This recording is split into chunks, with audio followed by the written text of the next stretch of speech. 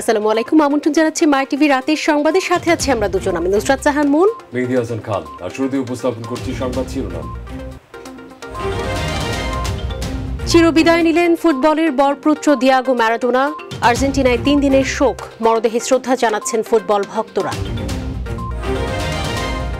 ম্যারাডোনার মৃত্যুতে শোক বইছে বাংলাদেশের ক্রীড়াপ্রেমীদের মাঝে সামাজিক যোগাযোগ মাধ্যমে শোকাবহ বার্তা। ধর্ষণ নারী নির্যাতন মাদক ও দুর্নীতির বিরুদ্ধে বিসিএস ক্যাডারদের কাজ করতে হবে বললেন প্রধানমন্ত্রী। চব্বিশ ঘন্টায় দেশে করোনা আক্রান্ত হয়ে আরও সাঁত্রিশ জনের মৃত্যু। জনসচেতনতা বাড়াতে ভ্রাম্যমাণ আদালতের অভিযান।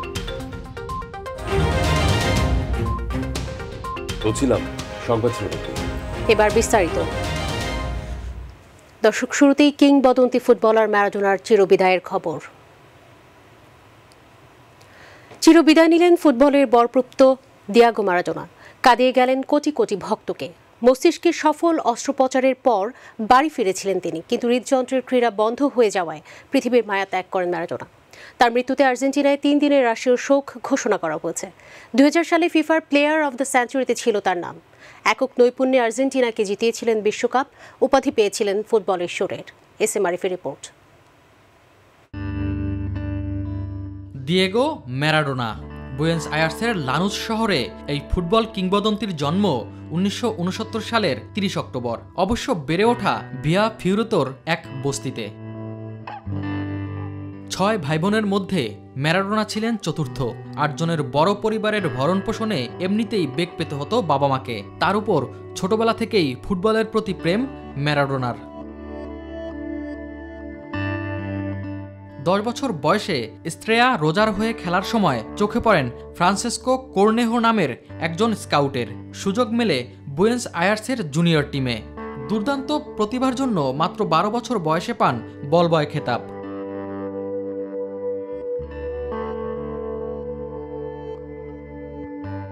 উনিশশো ছিয়াত্তর সালে আর্জেন্টিনাস জুনিয়র্সের হয়ে পেশাদার ফুটবলে আবির্ভাব। এরপর আর পিছনে ফিরে তাকাতে হয়নি ম্যারাডোনাকে। বছর না ঘুরতেই আন্তর্জাতিক ফুটবলে অভিষেক। প্রতিভা থাকলেও উনিশশো আটাত্তর সালে ঘরের মাঠের বিশ্বকাপে ডাক পাননি। সেই আক্ষেপ অবশ্য পূরণ করেছেন পরে চার বিশ্বকাপে মাঠ দাপিয়ে। অধিনায়কের দায়িত্ব পেয়ে উনিশশো ছিয়াশি সালে তার একক নৈপুণ্যে বিশ্বকাপ ঘরে তোলে আর্জেন্টিনা।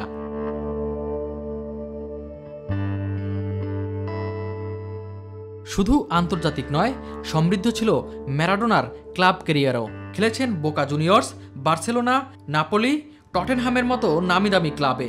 অসাধারণ দক্ষতায় নাপোলিকে একাধিক শিরোপা জিতিয়ে তিনি পান ঈশ্বরের মর্যাদাও। অবশ্য ম্যারাডোনার সঙ্গে টাচলাইনের বাইরের পৃথিবীর এপিট ওপিট দেখেছে ফুটবল বিশ্ব, যার এক পাশে আনন্দ, আরেক পাশে ব্যাখ্যাতীত সব বিতর্ক অপরিণামদর্শী জীবন। উনিশশো বিশ্বকাপে ম্যারাডোনার জন্য আলো যদি হয় গোল, আধারও সেটি। তাই তো তিনি পরিচিত হ্যান্ডস অফ গড নামে। খেলোয়াড় হিসেবে সফল এই মানুষটি ব্যর্থ ছিলেন কোচিং ক্যারিয়ারে। আর্জেন্টিনার জাতীয় দল সহ বেশ কয়েকটি ক্লাবের দায়িত্ব পেলেও কোনো সফলতা পাননি। নারী মাদক কিংবা বিশৃঙ্খল জীবনের জন্য পদে পদে ছিল নানা বাধা। যার কারণে কেরিয়ারের বিভিন্ন সময়ে ছিল নানা বাক। মাদকের জন্য হয়েছিলেন নিষিদ্ধ। তারপরেও জীবন উপভোগে ম্যারাডোনার প্রতিপক্ষ খুব কমই আছে। নানামুখী সমালোচনাকে বাইরে রেখে তিনি ছুটে চলতেন অভিষ্ট লক্ষ্যে। যেভাবে উদ্যম গতিতে চমৎকার সব ড্রিবলে পেছনে ফেলতেন ডিফেন্ডারদের। কিন্তু মৃত্যুকে তো আর ড্রিবল করা যায় না। এই অমোঘ সত্যিটা জেনেই বুঝি ম্যারাডোনা জীবনটাকে সাজিয়েছিলেন বল, সুরা, নারীসঙ্গ ও দেশাত্মবোধের পানপাত্রে। S M Arif, my TV. এদিকে কিংবদন্তি ফুটবলার দিয়েগো ম্যারাডোনার মরদেহ আজ থেকে তিন দিনের জন্য বোয়েন সাইডেসে অবস্থিত প্রেসিডেন্টের কার্যালয় কাসারোসাদায় রাখা হবে। এরই মধ্যে প্রেসিডেন্ট কার্যালয়ে পৌঁছেছে ম্যারাডোনার মরদেহ। ফুটবল প্রেমীরা ফুটবল জাদুঘরকে শ্রদ্ধা জানাতে সেখানে ভিড় করছেন। এর আগে বুধবার সন্ধ্যায় ম্যারাডোনার মরদেহ বোয়েন্স আইরেসের তিগ্রেতে তার বাসভবন থেকে ময়নাতদন্তের জন্য সান ফার্নান্দোর মর্গে নেওয়া হয়।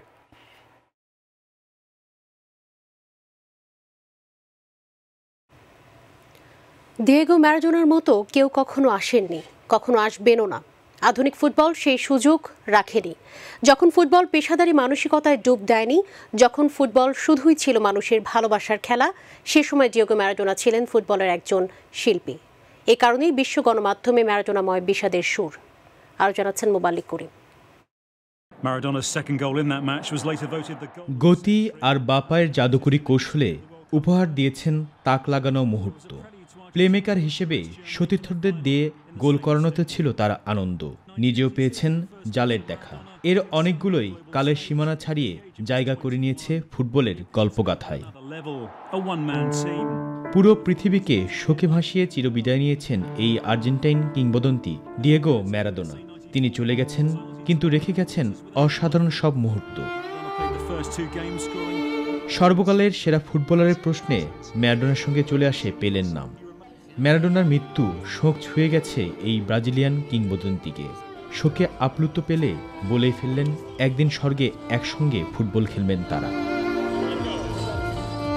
দশ নম্বর জার্সিটা গতকালও শোভা পাচ্ছিল আলেহান্দ্রো গোমেজের গায়ে, যেন ম্যারাডোনার আশীর্বাদ সাথে নিয়েই লড়ছিলেন। সামাজিক যোগাযোগ মাধ্যমের কল্যাণে গোমেজের মনের খবর জানতে সমস্যা হয়নি। মাঠে নামার আগে ইনস্টাগ্রামে পোস্ট দিয়ে ম্যারাডোনা প্রতি নিজের অনুরাগের কথা জানিয়ে দিয়েছিলেন গোমেজ।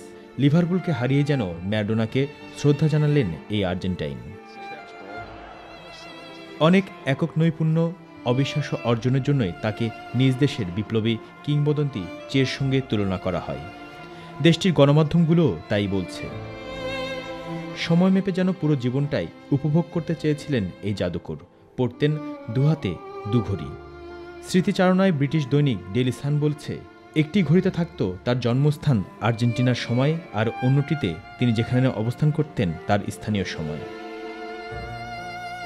বুয়েন আয়ার্সের পাতাতে ঈশ্বরের কাছের মানুষ বলে সম্মানিত করা হয়েছে তাকে। আর গার্ডিয়ানের কথাতে তিনি যেন সুপারস্টার। নিউ ইয়র্ক টাইমসের চোখে তিনি অমর। বিশ্ব গণমাধ্যম জুড়েই এই কীর্তিমান। সমালোচনা ছেড়ে যিনি এখন সবার আলোচনায়। এক জীবনে মানুষ এর চেয়ে আর কি পায়? ডিয়েগো, আর্মান্দো, ম্যারাডোনা বুঝি সবই পেয়েছেন। আলোচনা সমালোচনার ভিড়েও তিনি সবসময় ছিলেন, আছেন, থাকবেন। Mubalik Karim, my TV. ম্যারাডোনার মৃত্যুতে আন্তর্জাতিক অঙ্গনের মতো শোক বইছে বাংলাদেশি ক্রীড়াপ্রেমীদের মাঝে। সামাজিক যোগাযোগ মাধ্যমে শোক জানিয়েছেন ক্রিকেটাররা, তার এমন মৃত্যুতে মর্মাহত দেশের ফুটবল অঙ্গন। এস এম আরিফের আরেকটি প্রতিবেদন। ডিয়েগো ম্যারাডোনা কেবল একটি নাম নয়, এক মহাকাব্যিক ইতিহাস। সতেরো বছরের আন্তর্জাতিক ক্যারিয়ারে কি নেই? জিতেছেন বিশ্বকাপ, হয়েছেন সেরাদের সেরা। অসাধারণ সব ড্রিবলিং বা পায়ের জাদু, এই জাদুই যে তার জীবন। যার এক পাশে অমরত্ব আর অপর পাশে রাশি রাশি বিতর্ক। আবার সেসব পাশ কাটিয়ে জীবন উপভোগের অসাধারণ দৃষ্টান্ত। এসব শুধু ম্যারাডোনাকেই মানায়। অবশেষে জীবনের খেলা শেষ। পার্থিব সব বন্ধন কাটিয়ে না ফেরার দেশে চলে গেলেন এই ফুটবলেশ্বর। যাবার বেলায় কাঁদিয়ে গেলেন কোটি কোটি ভক্ত সমর্থকদের। ম্যারাডোনার মৃত্যুতে বহির্বিশ্বের মতো শোক বইছে বাংলাদেশের ফুটবল অঙ্গনে। অ্যাজ এ ফুটবল প্লেয়ার হিসেবে আসলে আমি ওকে অনেক লাইক করতাম। আসলে এটা অনেক ফুটবলের জন্য এটা একটা মর্মাহত ঘটনা। মারাদোনা মারা গেছে। এটা একটা মানে একটা sad news for the football world তো এই ব্যাপারটা আমার জন্য মেনে নিতে অনেক কষ্ট হচ্ছে। কারণ আমি অনেক অনেক পছন্দ করতাম দিয়েগো ম্যারাডোনার খেলা যে ক্ষতিটা হয়েছে আসলে এটা ক্ষতি আহ, পোষাবার নয়। তো ম্যারাডোনার জন্য আমাদের সবসময় প্রার্থনা করি যে সে যেখানে থাকে সেটা কেবল ফুটবল সংশ্লিষ্টরা নয় জাতীয় দলের ক্রিকেটাররাও মর্মাহত এই কিংবদন্তির মৃত্যুতে। সামাজিক যোগাযোগ মাধ্যমে শোকবার্তা জানিয়েছেন Mashrafe Shakib Tamim মুশফিকরা। S M Arif my TV. এবার অন্যান্য প্রসঙ্গ। মানুষের ন্যায় বিচার নিশ্চিত করার নির্দেশনা দিয়ে প্রধানমন্ত্রী শেখ হাসিনা বলেছেন, ধর্ষণ, নারী নির্যাতন, মাদক ও দুর্নীতির বিরুদ্ধে কাজ করতে হবে। বিসিএস বিচার ও প্রশাসন ক্যাডারদের একশো ষোলো, একশো সতেরো, একশো আঠারোতম আইন ও প্রশাসন কোর্সের সমাপনী ও সনদ প্রদান অনুষ্ঠানে প্রধানমন্ত্রী নির্দেশনা দিয়েছেন। এ সময় প্রশিক্ষণ থেকে আহরিত জ্ঞানকে জনকল্যাণে কাজে লাগানোর নির্দেশনা দিয়েছেন প্রধানমন্ত্রী। সাইদুর রহমান আমিরের রিপোর্ট। শাহবাগে বাংলাদেশ সিভিল সার্ভিস প্রশাসন একাডেমিতে একশো ষোলো, একশো সতেরো এবং একশো আঠারোতম আইন ও প্রশাসন কোর্সের সনদ বিতরণ অনুষ্ঠানে ভার্চুয়ালি যুক্ত হন প্রধানমন্ত্রী শেখ হাসিনা। পাঁচ মাস প্রশিক্ষণ নেয়া একশো ষোলো জন নবীন ক্যাডারদের মধ্যে শীর্ষ তিনজনকে প্রধানমন্ত্রীর পক্ষে অ্যাওয়ার্ড তুলে দেন জনপ্রশাসন প্রতিমন্ত্রী ফরাদ হোসেন। পরে নবীন কর্মকর্তাদের উদ্দেশ্যে প্রধানমন্ত্রী শেখ হাসিনা বলেন প্রশিক্ষণে অর্জিত জ্ঞান দেশ ও জাতির কল্যাণে কাজে লাগাতে হবে। আপনাদের যে মেধা আপনাদের জ্ঞান আপনাদের বুদ্ধি মনন সেগুলি আপনারা কাজে লাগাবেন দেশ ও জাতির সেবায়। এদেশের মানুষ যেন নিরাপদ থাকতে পারে উন্নত জীবন পেতে পারে আর বিশ্ব দরবারে আমরা যেন মাথা উঁচু করে চলতে পারি সম্মানের সাথে। যে দলেরই হোক অপরাধীকে অপরাধী হিসেবে দেখেই ন্যায় বিচার নিশ্চিত করার নির্দেশ দেন প্রধানমন্ত্রী।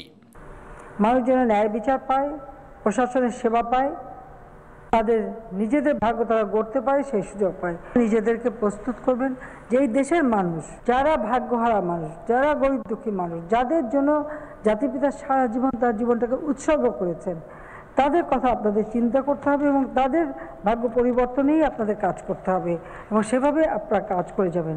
সরকার প্রধান জানান দেশ ডিজিটাল হওয়ায় করোনা পরিস্থিতিতেও দেশের অর্থনৈতিক উন্নয়ন অগ্রযাত্রা এগিয়ে যাচ্ছে। আমরা আজকে স্বয়ংসম্পূর্ণ কিন্তু এটা আমাদের অব্যাহত রাখতে হবে। ফসল উৎপাদন করা বা মাছ মাংস ডিম দুধ সব কিছু উৎপাদন বাড়ানো ফল মূল শাক সবজি উৎপাদন বাড়ানো নিজেদের খাবার যেন নিজেরা খেতে পারি দরকার হলে অন্যকে আমরা সাহায্য পাঠাতে পারি সেইভাবেই আমাদের করতে হবে। এখনও দেশে করোনা পরিস্থিতি সহনশীল অবস্থায় আছে জানিয়ে সবাইকে কঠোরভাবে স্বাস্থ্যবিধি মানার নির্দেশ দেন প্রধানমন্ত্রী। আমাদেরকে খুব সাবধানে চলতে হবে স্বাস্থ্য সুরক্ষা মেনে চলতে হবে। Saidur Rahman Abir my TV Dhaka. Corona পরিস্থিতি চব্বিশ ঘন্টায় দেশে করোনা আক্রান্ত হয়ে আরও সাঁত্রিশ জনের মৃত্যু হয়েছে আর শনাক্ত করা হয়েছে আরও দুই হাজার দুশো বিরানব্বই জনকে। করোনা এত মৃত্যুর পরেও সচেতন নন সাধারণ মানুষ। সরকারের হাজারো প্রচেষ্টার পরেও টনক নড়ছে না তাদের, বিশেষ করে মাস্ক পরার বিষয়ে অনীহা যেন চূড়ান্ত। সচেতন করতে প্রায় প্রতিদিনই মাঠে নামতে হচ্ছে ভ্রাম্যমাণ আদালতকে। প্রতিবেদন মোবাল্লিক করিমের। চলতি সপ্তাহে শনিবার আঠাশ জনের, রবিবার উনচল্লিশ জনের, সোমবার আঠাশ জনের, মঙ্গলবার বত্রিশ জনের, বুধবার উনচল্লিশ জনের মৃত্যু হয় করোনা ভাইরাসে আক্রান্ত হয়ে। বৃহস্পতিবার আইডিসিআর এর নিয়মিত প্রেস বিজ্ঞপ্তিতে আরও সাঁত্রিশ জনের মৃত্যুর খবর আসে। নতুন করে শনাক্ত হয়েছেন এ সময় আরও দু হাজার দুইশো বিরানব্বই জন। এখন পর্যন্ত শুধু দেশে ছয় হাজার পাঁচশো চব্বিশ জনের মৃত্যু আর চার লাখ ছাপ্পান্ন হাজার চারশো আটত্রিশ জন আক্রান্ত হওয়ার পরেও কেন যেন সচেতন নন সাধারণ মানুষ। যেখানে বিশ্বজুড়ে হাত ধোয়া আর বিশেষ করে মাস্ক পরার জোর দেওয়া হচ্ছে, সেখানে দেশের বিভিন্ন জায়গাতে মাস্ক পরাতে পরিচালনা করতে হচ্ছে ভ্রাম্যমাণ আদালত। সকালে রাজধানীর শাহবাগ ফার্মগেট সিটি কলেজ মিরপুর এলাকায় এই অভিযান পরিচালনা করেছেন র্যাবের চারজন নির্বাহী ম্যাজিস্ট্রেট, যেখানে অনেকেই গুনতে হয়েছে জরিমানা। জেল বা জরিমানা করা কিন্তু মূল উদ্দেশ্য না। আমাদের সম্মানিত যারা নাগরিক আছে, তাদেরকে সচেতন করা তাদেরকে মাস্ক ব্যবহার উপকার সম্পর্কে বলা। এদিকে কুমিল্লার কান্দিরপাড় রাজগঞ্জ সহ বিভিন্ন সড়কে মাস্ক না পরার জন্য ও জনসচেতনতা বাড়াতে অভিযান পরিচালনা করেন জেলা প্রশাসক কার্যালয়ের নির্বাহী ম্যাজিস্ট্রেট জনি রায়। চট্টগ্রামেও মসজিদ মন্দির স্কুল কলেজ সহ বিভিন্ন প্রতিষ্ঠানে স্বাস্থ্য সুরক্ষা সামগ্রী বিতরণ করা হয়েছে। Mubalik Karim my TV news desk. Dhaka শহরের জলাবদ্ধতা নিরসনে খালসমূহ উত্তর ও দক্ষিণ সিটি কর্পোরেশনের নিকট হস্তান্তরের নীতিগত সিদ্ধান্ত নিয়েছে সরকার। সচিবালয়ে আয়োজিত সভা শেষে কথা জানিয়েছেন স্থানীয় সরকার মন্ত্রী তাজুল ইসলাম। এই বিষয়ে একটি কারিগরি কমিটি গঠন করা হয়েছে বলেও জানান তিনি। মন্ত্রী বলেছেন, প্রযুক্তি ও অবকাঠামোগত পরিবর্তনের বিষয়ে তথ্য উপাত্ত সংগ্রহ করতে নির্দেশনা দেওয়া হয়েছে। আরও জানাচ্ছেন রাকিব হাসান। জলাবদ্ধতা রাজধানীর একটি দীর্ঘদিনের সমস্যা। এ সমস্যার সমাধানের লক্ষ্যে ওয়াসার অধীনস্থ খাল এবং ড্রেনেজ সিস্টেম পুরোপুরি দুই সিটি কর্পোরেশনের কাছে হস্তান্তরের সিদ্ধান্ত নিয়েছে সরকার। সচিবালয়ে অনুষ্ঠিত বৈঠকে এ বিষয়ে একটি কারিগরি কমিটি গঠন করার সিদ্ধান্তের কথা জানান স্থানীয় সরকারমন্ত্রী তাজুল ইসলাম। তিনি বলেন, কমিটিকে এক মাসের মধ্যে প্রতিবেদন দেওয়ার নির্দেশ দেওয়া হয়েছে। অবকাঠামো নির্মাণ এবং আমাদের যে সমস্ত রাস্তাঘাট নির্মিত নির্মিত হবে সবগুলো যেন নাকি পরিকল্পিতভাবে হয়। আর পরিকল্পিতভাবে হলে মানুষ একটা স্বাচ্ছন্দ্যপূর্ণ জীবনযাপন করতে পারবে। বৈঠকে দুই সিটি মেয়র জানান নীতিগতভাবে সবাই একমত। তবে আইনগত এবং টেকনিক্যাল দিক বিবেচনায় জলাবদ্ধতা নিরসনের চেষ্টা করা হবে জানিয়ে উত্তরের মেয়র আতিকুল ইসলাম বলেন জনগণকে সাথে নিয়েই দখলমুক্ত করা হবে সকল খাল। আমরা জনগণের পাশে থেকে জনগণের যে দুর্ভোগ যে জলবদ্ধতা সেই জলবদ্ধতাকে নিরসন করার জন্য আজকে মাননীয় মন্ত্রীর নেতৃত্বে আমরা যে মিটিং করলাম সিটির দুই মেয়র আমরা একমত পোষণ করেছি। এরই মধ্যে অধিকাংশ খালি দখল করা হয়েছে জানিয়ে প্রভাবশালী যেই হোক খাল উদ্ধারে দক্ষিণ সিটি কর্পোরেশন পিসপা হবে না বলে জানান মেয়র শেখ ফজলেনুর তাপস।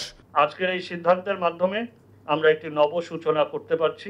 আমি আশাবাদী সকলে মিলে ঐক্যবদ্ধভাবে কাজে আমাদের মাননীয় মন্ত্রীর নেতৃত্বে কর্মের মাধ্যমে আমরা অচিরেই ঢাকাবাসীকে এর সুফল পৌঁছে দিতে পারব। উনিশশো সালে এই দায়িত্ব দেয়া হয় ওয়াসাকে। তবে ঢাকাবাসীর দাবির প্রেক্ষিতে এই দায়িত্ব এবার নিতে যাচ্ছে city corporation. Rakib Hasan my TV Dhaka. করোনার দ্বিতীয় ঢেউ মোকাবেলায় প্রণোদনা প্যাকেজ নিয়ে নতুন করে চিন্তা করার পরামর্শ দিয়েছেন বাণিজ্যমন্ত্রী টিপু মুন্সি। রাজধানী ওসমানী স্মৃতি মিলনায়তনে কোভিড উনিশ মোকাবেলায় সরকারের নেওয়া প্রণোদনা প্যাকেজ বিষয়ক সিরিজ মতবিনিময় সভার অংশ নিয়ে এসব কথা বলেন তিনি। এই সময় করোনাকালে বাংলাদেশে নেওয়া বিভিন্ন পদক্ষেপের প্রশংসা করেন দুই উন্নয়ন সহযোগী বিশ্ব ব্যাংক এবং জাপান। আরও তথ্য রাকিব হাসানের। কোভিড নাইন্টিন মোকাবেলায় সরকারের নেয়া প্রণোদনা প্যাকেজ বিষয়ক সিরিজ মতবিনিময় সবার অংশ হিসেবেই এই আয়োজন। অর্থ মন্ত্রণালয় আয়োজিত সভায় এবারের প্রতিবাদ্য ছিল কর্মসংস্থান টিকিয়ে রাখা এবং অর্থনীতির সামগ্রিক চাহিদা ও সরবরাহ ব্যবস্থা স্বাভাবিক অবস্থায় ফিরিয়ে আনা। মতবিনিময় সভায় করোনাকালে ঘোষিত প্রণোদনা প্যাকেজ এবং এ থেকে উপকারভোগীদের একটি তুলনামূলক চিত্র উপস্থাপন করেন অর্থ সচিব। Of which 14 packages with cost of 336 billion taka are being financed from the budget আলোচনায় অংশ নেন সরকারের দুই উন্নয়ন সহযোগী বিশ্ব বিশ্বব্যাংক এবং জাপান। প্রণোদনা প্যাকেজগুলো অত্যন্ত সময়োপযোগী বলে মনে করেন তারা। I think the fact speaks that government officials here very confident on what you are doing you are managing the situation an expansion of package also to be supported by prudent and sustainable fiscal policy measures প্রণোদনা package সমূহ বাস্তবায়নের কারণে দেশের অর্থনীতি বিশ্বের বিভিন্ন দেশের তুলনায় অনেক এগিয়ে বলে মনে করেন প্রধানমন্ত্রীর মুখ্য সচিব। In Bangladesh thanks to our honourable prime minister she has always been focusing on the local production so since we have done very good in rice production fish production vegetables so we have been able to feed our people so I think for the future it is a you know uh, take-home lesson for for us, and also the food for thought for the uh, people, those who are working in the policy levels as well as the development. তবে এখনও অনেক প্রতিবন্ধকতা রয়েছে জানিয়ে করোনার দ্বিতীয় web মোকাবেলায় আরও কিছু পদক্ষেপ গ্রহণের পরামর্শ দেন বাণিজ্যমন্ত্রী টিপু মুন্সি। সাধারণ ব্যাংকগুলো কিন্তু তারা বড় পার্টি দেখে তাদের সুযোগ সুবিধা দেখতে চায়। ছোট কাজ করতে গেলে এদের নিতে গেলে তাদের লোক জল বেশি দরকার পড়ে। রিটার্ন তেমন না ভয় পায় যে টাকা পাবো কি না তার জন্য অন্য প্যাকেজও হয়েছে। তবে শুধুমাত্র সবখানে লাভ দেখাচ্ছেও দেশের কথা চিন্তা করা এই শ্রেণির কথা চিন্তা অর্থনীতি তাদের প্রভাব বিশাল তাদেরকে চিন্তা করা দরকার। এই ব্যাপারে সাজেশনও তারা দিয়েছেন আমার মনে হয় সেটাও তারা লক্ষ্য রাখবেন। অর্থ মন্ত্রণালয় বিভিন্ন সময় ব্যাপারগুলো কিন্তু লক্ষ্য রেখেই চলেছে। মতবিনিময় সভায় নিজেদের বেশ কিছু পরামর্শ তুলে ধরেন বিশেষজ্ঞরা। I think in that aspect, the stimulus package uh, Uh, was very important for the uh, economy, the overall economy and the actors working here. We, my third point is that after having this evaluation, after addressing this, we may need to consider another round of stimulus package. Bangladesh is a land of phoenix and we hope from the RMG sector we would be able to do justice to all the people that we employ in this sector. Rakib Hassan, My Dhaka. Awami লীগে অভ্যন্তরীণ গণতন্ত্র চর্চার পাশাপাশি দলীয় প্রধান শেখ হাসিনার নেতৃত্বে দুষ্টের দমন ও শিষ্টের লালন নীতি অনুসরণ করা হয় বলে জানিয়েছেন আওয়ামী লীগের সাধারণ সম্পাদক এবং সড়ক পরিবহন ও সেতু মন্ত্রী ওবায়দুল কাদের। তিনি সকালে তার সরকারি বাসভবনে ব্রিফিংকালে কথা বলেন। ওবায়দুল কাদের বলেন, সাংগঠনিকভাবে কোনো অনিয়ম, দুর্নীতি প্রশ্রয় দেওয়া হয় না। যে কোনো অভিযোগের প্রমাণ পাওয়া মাত্রই নেওয়া হচ্ছে সাংগঠনিক ব্যবস্থা। দুষ্টের দমন ও সৃষ্টির পালন নীতি অনুসরণ করা হচ্ছে। সাংগঠনিকভাবে কোনো অনিয়ম, দুর্নীতি প্রশ্রয় দেওয়া হয় না। অভিযোগ পেলে নেওয়া হচ্ছে সাংগঠনিক ব্যবস্থা। গাজীপুর জেলার বাসনা থানা এলাকা থেকে প্রায় নয় কোটি টাকা মূল্যের সাপের বিষ উদ্ধার ও দুজনকে গ্রেপ্তার করেছে সিআইডি। পাচারকারী চক্রের মূল হোতা মামুন তালুকদার ও মামুনকে গ্রেপ্তার করা হয়। দুটি বড় লকারে ছটি কাজের সুদৃশ্য কৌটা যেখানে বিষের মূল্য নয় কোটি টাকা। বাংলাদেশে কোনো ওষুধ কোম্পানি ক্রয় না করলেও পাচার করা হতো বিদেশে। বাংলাদেশকে রোড হিসেবে ব্যবহার করা হয় বলে জানান সিআইডির অতিরিক্ত ডিআইজি রেজাউল হায়দার। চক্রটি দীর্ঘদিন থেকে সাপের বিষ পাচার করত বলেও জানান তিনি। দুইটা লকার পাওয়া যায়। লকার মিনস হলে যেটাতে তারা ক্যারি করে। তো তার মধ্যে একটা এমটি ছিল, তার মানে আমরা ধরে নিচ্ছি যে হয়তো ইতিপূর্বে তারা এই ধরনের একটা লেনদেন হয়তো বা করে ফেলেছে। আর আরেকটা আমরা সাকসেসফুলি পাই, তাতে ছয়টা কন্টেনার ছিল। তাতে পার কন্টেনারে এক কিলো অনুমান আছে। তো সেই কন্টেনারের ওয়েটের ভিত্তিতে আমরা ধরে নিচ্ছি যে ছয় কিলো অ্যারাউন্ড আমরা সাপের বিষ জব্দ করেছি এবং এটা কোবরা আমরা এগুলোকে আবার আমাদের ল্যাবরেটরিতে পাঠানোর পরে একদম পিওরলি বলতে পারব যে কী লেভেলের বিষ বা কী ধরনের পয়জন এটাতে ছিল। তো সাকসেসফুলি এই অপারেশনটা পরিচালনা করাতে আমাদের দুইজন আসামি আমরা হাতে নাতে ধরি। কন্টেনারগুলোতে দেখা যাচ্ছে মেড ইন ফ্রান্স ফ্রান্সেরই লেখা। এখন আসলে এটা পুরো ইনভেস্টিগেশনের পরে পর্যায়ে এসে বোঝা যাবে। কারণ আমাদের দেশে তৈরি হলে তো মেড ইন বাংলাদেশি লিখতো এটা। হ্যাঁ এখান থেকে হয়তো আবার কয়েক হাত বদল করে আবার অন্য কোথাও যাওয়ার কথা ছিল। করোনার প্রতিষেধক তৈরির কাজ প্রায় শেষ। ছাড়পত্র মিললেই শুরু হবে টিকাকরণ। এই মুহূর্তে যে সম্ভাব্য করোনা প্রতিষেধকগুলোর দিকে তাকিয়ে গোটা বিশ্ব, সেগুলোর প্রত্যেকটি নির্দিষ্ট তাপমাত্রায় সংরক্ষণ করা প্রয়োজন হলেও বিশ্বের বিভিন্ন দেশের প্রত্যন্ত অঞ্চলে সঠিক প্রক্রিয়া মেনে প্রতিষেধক পাঠানোর ব্যবস্থা নেই, যা এখন দুশ্চিন্তার কারণ হয়ে দাঁড়িয়েছে গবেষকদের। মার্জিয়া মান্নানের রিপোর্ট। করোনা সংক্রমণ ঠেকাতে গেলে প্রতিষেধক আসা মাত্রই তা দ্রুত সাধারণ মানুষের কাছে পৌঁছে দেওয়ার প্রয়োজন বলে একমত বিশ্বের বিশেষজ্ঞরা। সেক্ষেত্রে প্রতিষেধক সরবরাহকারী কার্গো ড্রোন চলমান কোল্ড স্টোরেজ এবং মাইক্রোচিলার্স ব্যবহারের পরামর্শ দিয়েছেন তারা। 747s that crisscross the pole. কিন্তু অর্থনৈতিকভাবে পিছিয়ে থাকা দেশগুলোর নাগরিকদের কাছে করোনার প্রতিষেধক পৌঁছে দেওয়ার এই উন্নত প্রযুক্তির ব্যবস্থা করতে পারবে কিনা তা নিয়ে অনিশ্চয়তা দেখা দিয়েছে the last mile. কোন দেশের প্রতিষেধক বন্টনের কি ক্ষমতা তা নিয়ে বুধবার একটি যৌথ রিপোর্ট প্রকাশ করেছে university of Birmingham Heriot Watt university বাংলাদেশের বিআরএসি ইউনিভার্সিটি এবং Bangladesh university of engineering and টেকনোলজির গবেষকরা.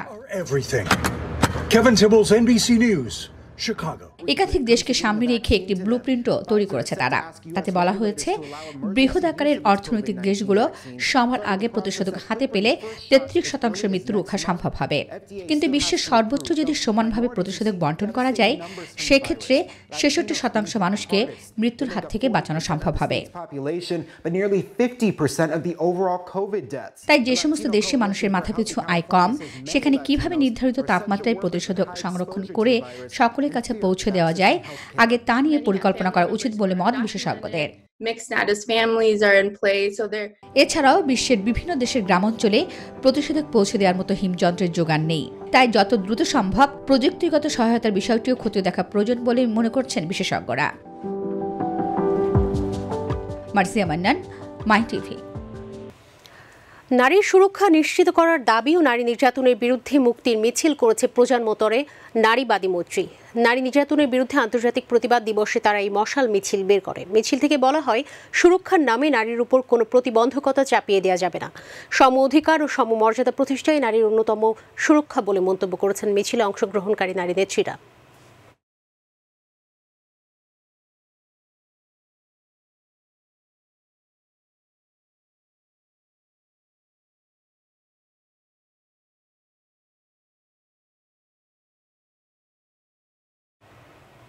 প্রবাসের খবর।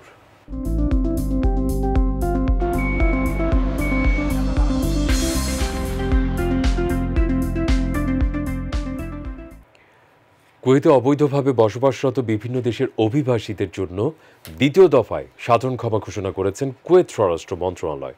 যেসব অবৈধ প্রবাসী বৈধভাবে কুয়েতে থাকতে আগ্রহী, তারা সংশ্লিষ্ট সংস্থা, কোম্পানি, কপিল বা শোন অফিসে যোগাযোগ করে তার উপর অর্পিত জরিমানা পরিশোধ করে আগামী পয়লা ডিসেম্বর থেকে একত্রিশে ডিসেম্বরের মধ্যে বিশেষ শর্ত নিয়ম মেনে আকামা নবায়ন করতে হবে।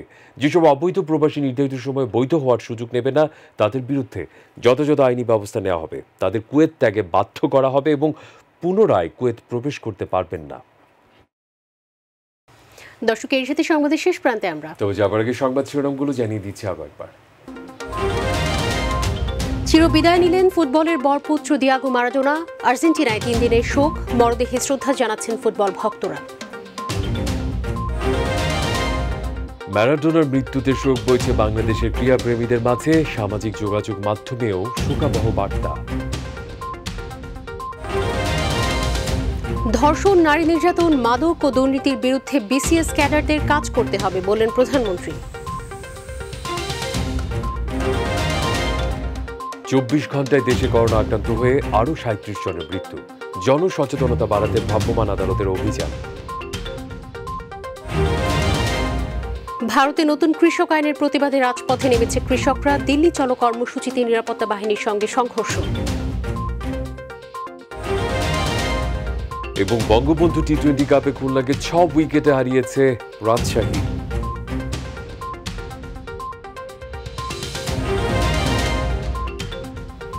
দর্শক এই ছিল এখনকার সংবাদ।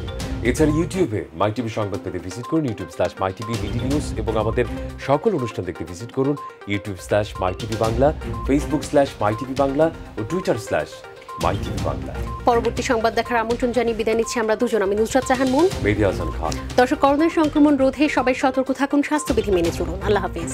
আল্লাহ হাফেজ।